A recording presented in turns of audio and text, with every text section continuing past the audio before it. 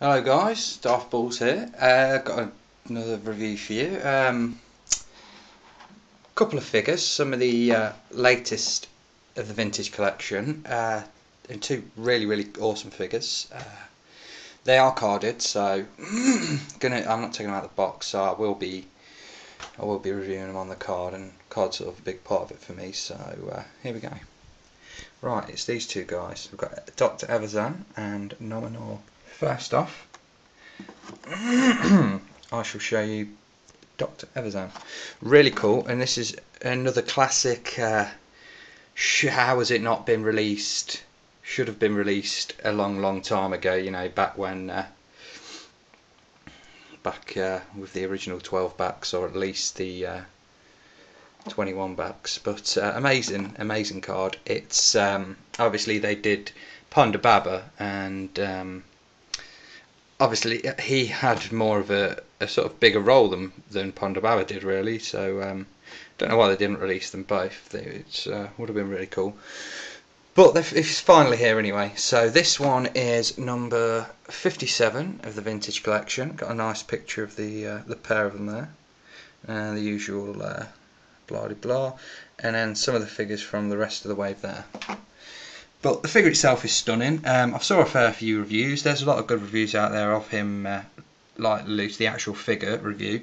Uh, really well sculpted. The face is just superb, and um, he just looks really, really overall looks really, really cool. Would display well out of the box and displays excellent uh, on the card.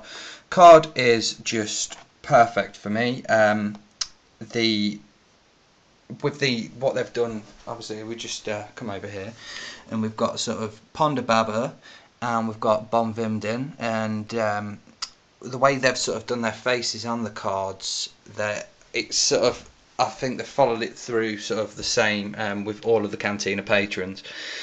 So I really like that. Um, that sort of straight on, kind of straight on shot of um, of him. It's got the sort of manky side of his face.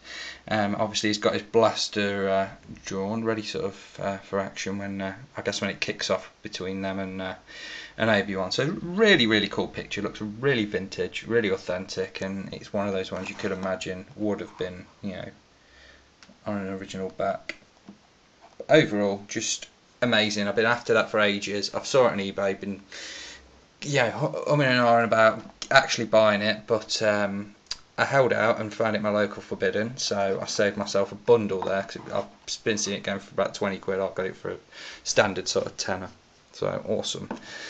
And on to the next one, which is Nom Anor, um, another badass um, expanded universe character.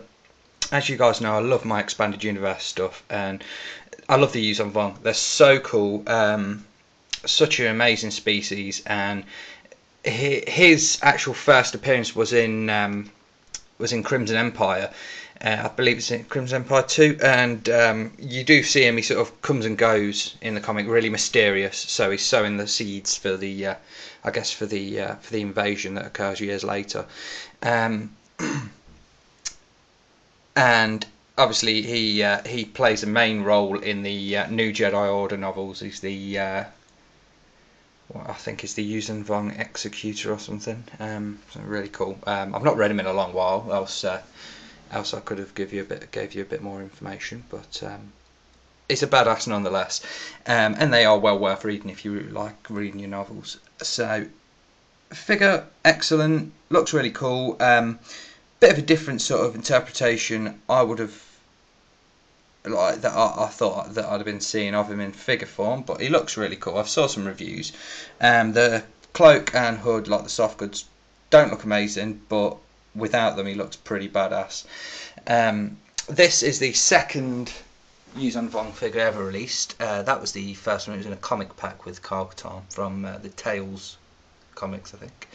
So I do want to get a second so I can display them together, really. Um, this one's VC59. So I believe they're both from the same wave. Um, they are like, it was like the missing wave that uh, should have been released ages ago. And that's a picture of him from the um, from the Crimson Empire 2 comic book. and the yeah, again the other figures from the wave. The image on the card back is really cool. Um, I don't know where this image is from. I guess it's just a sort of made up image that they've they've done themselves specifically for the card backs. I've I can't remember ever seeing this image of uh, of Nom Anor, um, and I find it a little bit weird how he's, he's really skeletal there. Um, really, uh, I don't know. I just I've never seen. I've saw different images and interpretations of him, and I just I don't know. It just looks a little bit too skeletal. It genuinely does look like that's just his skull, whereas the um, the Yuuzhan Vong sort of to their gods like make these sort of self-sacrifice and, and sort of hurt like mutilate themselves um, and thrive off of the pain and I would have preferred to see sort of skin but more just sort of I don't know skin and rotted away sort of been chipped and chopped away and it's gone all gammy but it's still really cool and absolutely buzzing it's yet again mega expensive figure um, to get online. I've seen some stupid prices for him, but found him in Forbidden. My mate bought him. I was dead gutted, but um, he actually gave it to me uh, for my birthday, so I was absolutely uh, buzzing about that. So cheers, man.